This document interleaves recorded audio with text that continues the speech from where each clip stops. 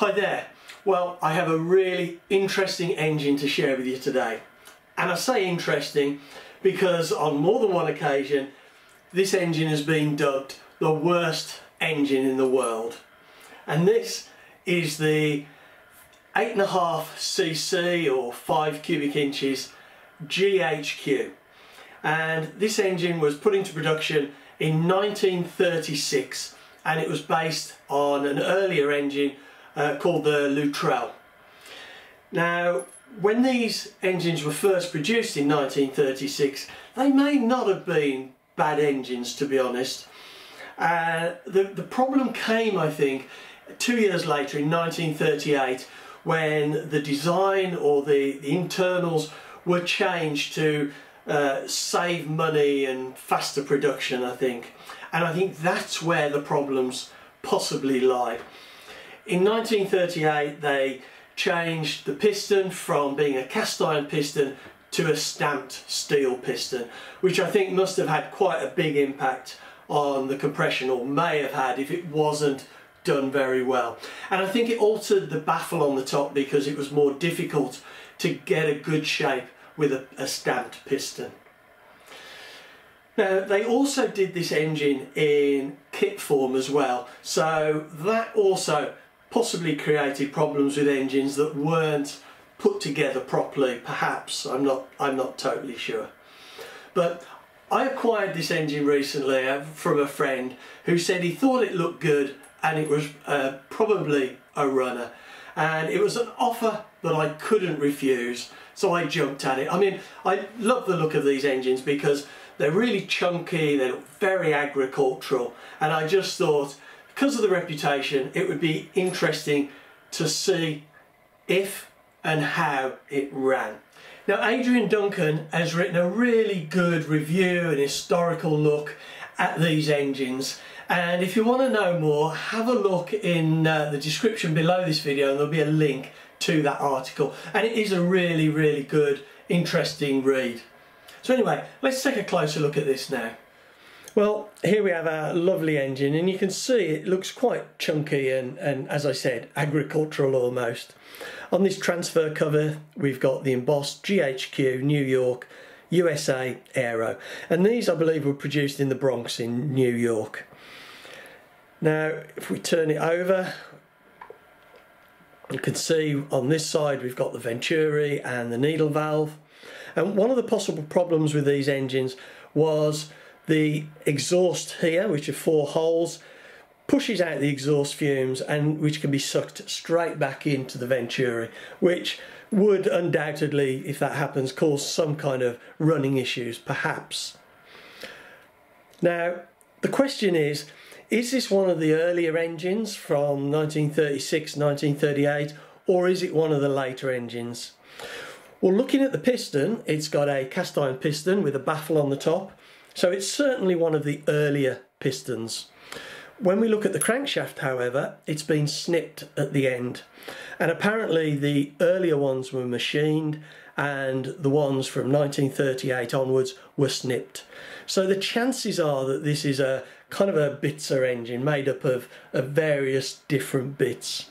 I mean, it has great compression, which is encouraging, but it needs to have not only great compression in the head, but also in the crankcase here to get the fuel up into the uh, into the, the combustion chamber.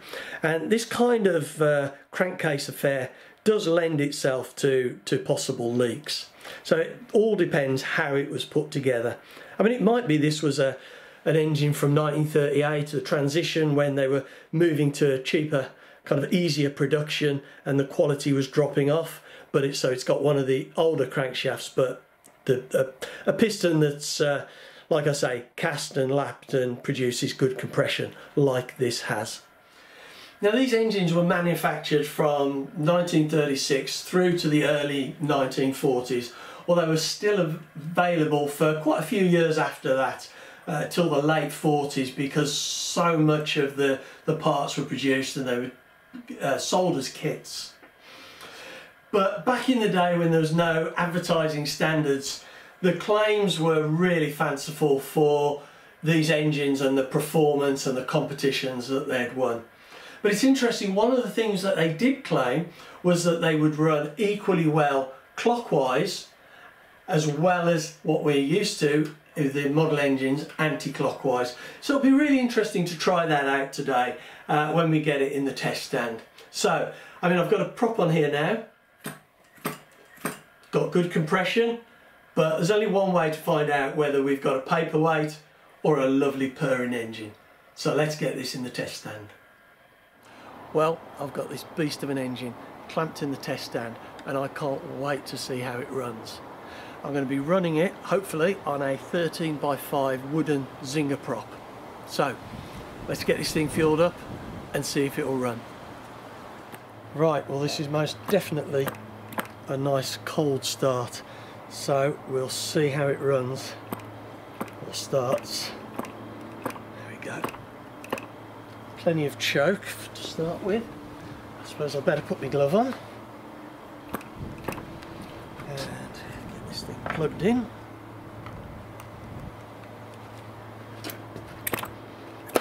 Whoa, bit of a kick. Let's just retard the ignition a little bit. Take the HT lead a little bit out of the way. So it's just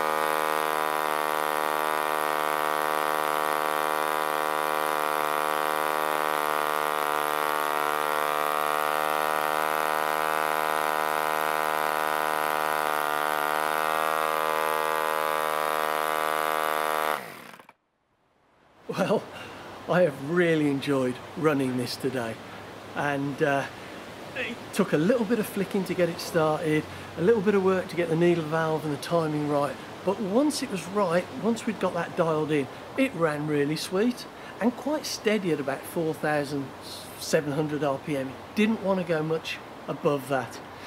It's interesting, it gets quite hot here adjusting the timing and the needle valve because the exhaust is coming out there straight onto your fingers. But I really enjoyed this engine and I think we've got a good one here and a keeper. Well, we've had this running counterclockwise, what we're used to with our model engines, but now I'm going to turn the prop around and we'll see if we can get this running clockwise and uh, see if those advertisements are true, see if it really does run run clockwise. That'll be interesting. I'm turning the prop around just so that it draws a little bit of air over the engine hopefully. I probably won't run it that way too long because I don't want it to overheat.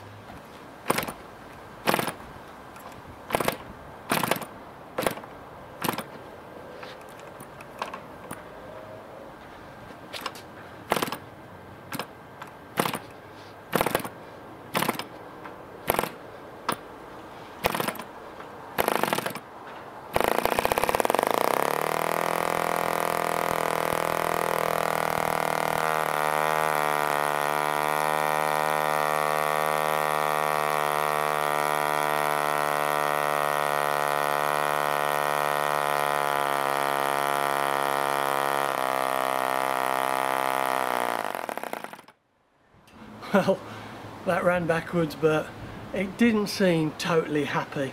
And uh, I think I've got the timing in the right place because it did run and when I altered the timing you could hear it speeding up and slowing down but it didn't seem as happy going I say backwards going clockwise as when we had it running counterclockwise. So I think we need to get this going again counterclockwise just to uh, just to hear it purr again Right, I've just replaced the plug and I've put in a, a brand new rimfire plug and I thought it'd be interesting to see how that runs, if at all differently, because the Champion that I had in it was quite an old, an old plug. So probably make no difference at all, but we'll see.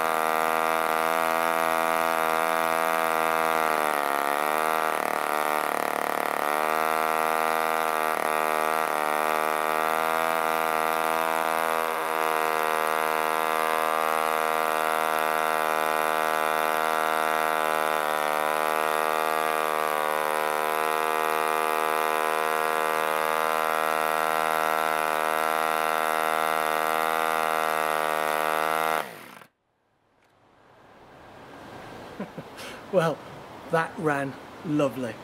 Much better going counterclockwise than it was going clockwise. But I am really excited to have got this running today and it does run absolutely lovely. I mean, we did touch nearly 5,000 RPM at one point, but it's kind of happier sitting at around 4,700 and uh, it doesn't seem that uh, sensitive to the timing but it does seem sensitive to the needle valve. And when you're trying to adjust the timing here, the ignition timing, you're, you've got your fingers right in the exhaust outlet. And so it does get a little bit hot and a little bit oily. But I think we've definitely got a keeper here and a really nice running GHQ. And for an engine with such a, a poor reputation, shall I say, um, it's nice to have one that runs so sweet. So anyway, I have really enjoyed running this and I hope you've enjoyed watching it.